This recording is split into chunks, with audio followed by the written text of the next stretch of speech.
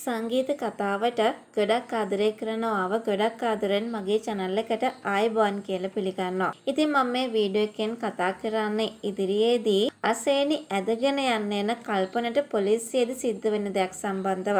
ඉතින් වීඩියෝ එකට යන කලින් ආදරණීය ඉල්ලීමක් කරන්න කැමතියි. ඒ තමයි මගේ වීඩියෝ එක බලලා හොඳයි නම් ඔන්න ඔයාටත් පුළුවන් මගේ channel එක subscribe කරලා මාත් එක්ක එකතු වෙන්න. එතකොට මං අරන් එන වීඩියෝ ඉස්සනින් තප්පරෙන් දැනගන්න ඔන්න ඔයාටත් අවස්ථාව තියෙනවා. ඉතින් ඔයා දන්නවා අසේනේ පෙරුම් පුරල පෙරුම් පුරලා කොමාරි මහී බලන්න ඇවිල්ලා. හැබැයි ඉතින් ඒ දේ කල්පනගේ තාත්තට ආරංචි වෙලා. ඉතින් දැන් අසේනිට ඉදිරියේදී කරදර ගොඩකට මුහුණ පාන්න සිද්ධ වෙනවා. හැබැයි අසේනියේ කරදරයකටවත් බය වෙන්නේ නැති වේවි. ඒකට හේතුව තමයි අසේනිට මහී බලන්න ලැබුණ නිසා. ඒක කාලෙකට ඇති කියලයි ඔන්න මං විශ්වාස කරන්නේ. ඉතින් ඒ කොහොම වුණත් දැන් අසේනි මහිය බලන්න ආවනේ.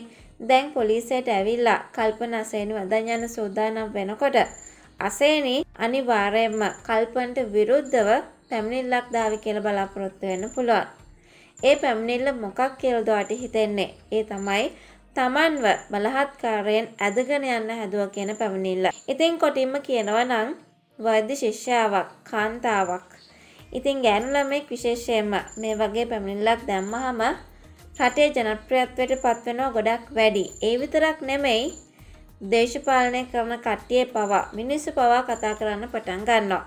ඉතින් ඒකත් එක්ක ඉදිරියට කල්පනට සිරගත වෙන්න පවා සිදුවෙනවා කියන දෙයි ඔන්න මං ඔයාට මේ වීඩියෝ එකෙන් කියන්න කැමති වෙන්නේ. ඉතින් කොටින්ම කියනවා නම් අසේනි මේ ගන්න තීරණෙත් එක්ක කල්පනගේ ජීවිතේ ගොඩක් වෙනස්කම් වලට පත්වේවි.